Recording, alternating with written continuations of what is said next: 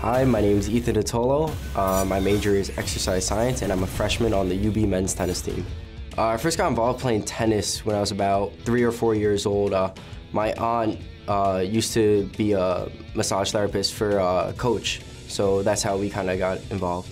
I decided probably when I was around 13 or 14 years old to try and play uh, college tennis. And I went to Townsend Harris High School in Queens, uh, New York City, New York, and it was major. It was mostly a academic school. You know, sports weren't huge over there, but uh, the administration over there they really helped me out in helping me get a schedule that would help me uh, to play tennis for longer hours during the day.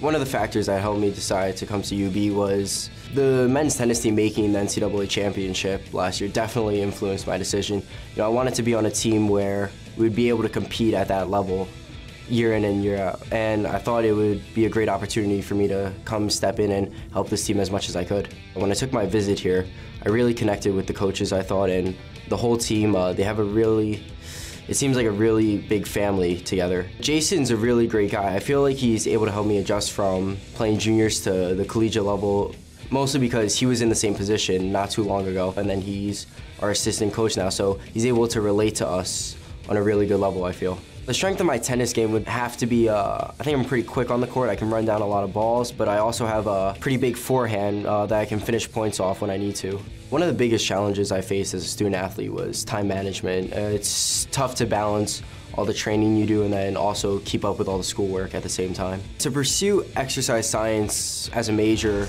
it always stuck out to me. I always thought it was interesting uh, learning about the body and how the mechanics of it work and how the major muscle groups uh, contribute to certain uh, certain sports. And I was always going to physical therapist when I was younger. So I was always around that environment. And uh, with my exercise science degree when I graduate I hope to either become an athletic trainer or uh, later on maybe a physical therapist. One of my goals this year is to definitely contribute as much as I can to this team, win as many matches as I can, and also get other guys, you know, help them out. But also, uh, long term, one of my goals would be to win a MAC Freshman of the Year. We all care about each other so much, and I think that's why we all want to push each other to do our best. You know, we spend so much time together, and it's great because anything that happens, you know, we all know about it, we all care about one another.